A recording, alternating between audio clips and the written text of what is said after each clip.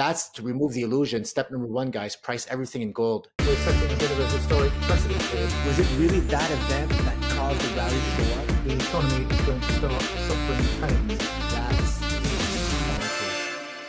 Okay, it's uh, Kevin Wadsworth and Patrick Karim from NorthStarBadCharts.com. Welcome to the show. This is Talking Trades. And uh, Patrick, we're going to talk today about uh, gold and we're going to talk about how it protects against purchasing power destruction. Do you want to show us some charts to, uh, to illustrate exactly what it does when uh, we're seeing the US dollar lose its value?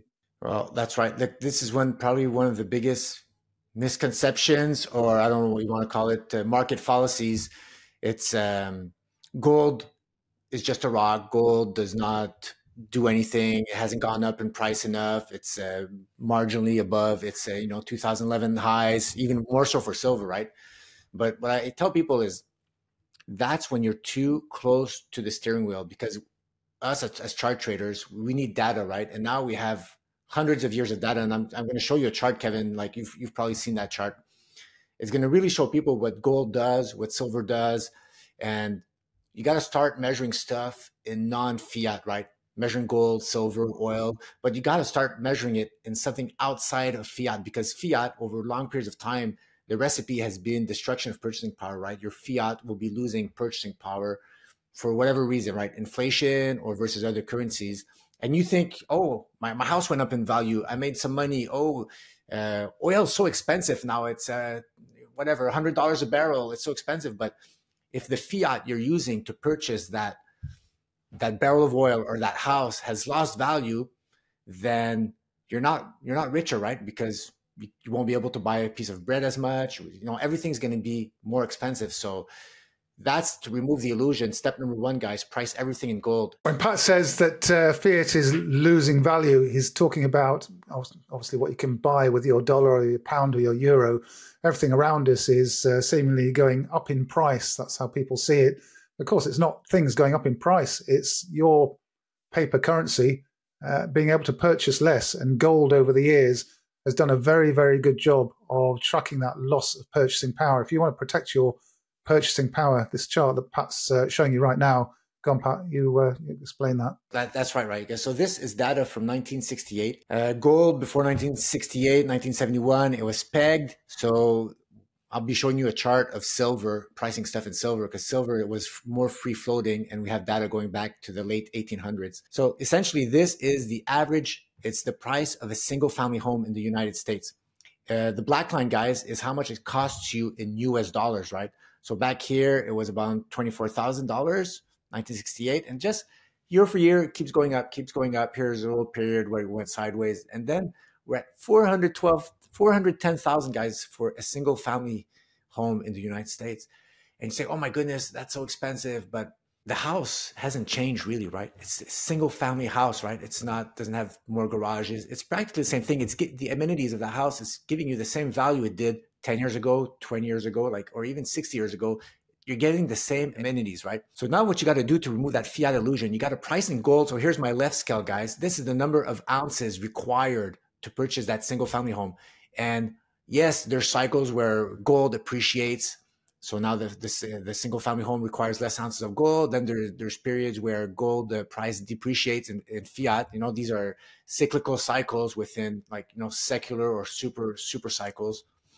But over long periods of time, my arrow is practically gone sideways, right?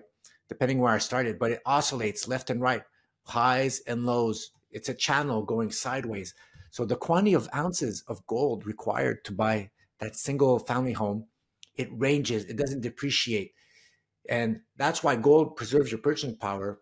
You don't need more ounces of gold necessarily like the fiat chart. You know, if gold would, would not preserve your purchasing power, Kevin, it would look like this. It would look like the fiat chart, right? You just need more and more and more ounces of gold to purchase that same house, right? So are you telling me, Pat, that the house hasn't got more expensive over the last fifty years? Yeah. Can you can you imagine what kind of world we would be living in if we could use gold as currency? If we could actually transact in gold, and uh, of course that's exactly what we can do now. So that's quite useful to uh, to me and everybody listening to to this, of course. But yeah, I mean, wow, look at that! A, house has not gone up in price if you're buying it with gold. And uh, that kind of out of all of the charts that that we have, I think that really illustrates and brings it home to people just exactly what gold and uh, and also silver, precious metals generally do over the years.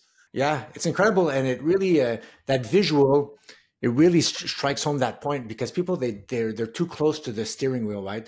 They're in the day to day lives. They if you go on Yahoo, the data you have like three months of data, six months of data, and then people can't see these longer term uh, pictures, right?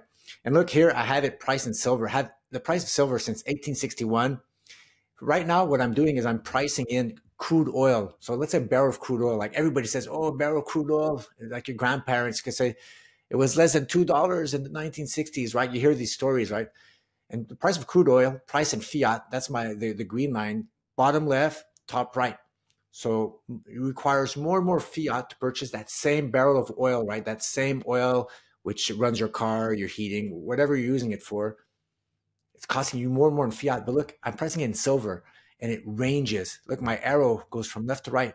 There's there's cyclical cycles for the price of silver, but over long periods of time, it'll get you the same amount of silver ounces, guys. Just like the one here I'm holding my hand to purchase that same barrel of oil. So stackers rejoice, gold stackers, silver stackers. You have the data behind you that over long periods of time, that's what uh, that's why people stack. It's to protect their purchasing power, so they'll be able to buy the same goods over long periods of time. They'll give that wealth to their kids. They'll be able to buy the same house, to buy the same barrel of oil, name it, and they won't be holding fiat, which will which has depreciated like year after year, like for 40, 50, 60, 80 years. The, the fiat has been the the purchasing power has been eroded, guys. There you go. That's a light bulb moment, hopefully, for, for a lot of people watching this. Thanks for uh, joining us, and uh, don't forget to follow for more content.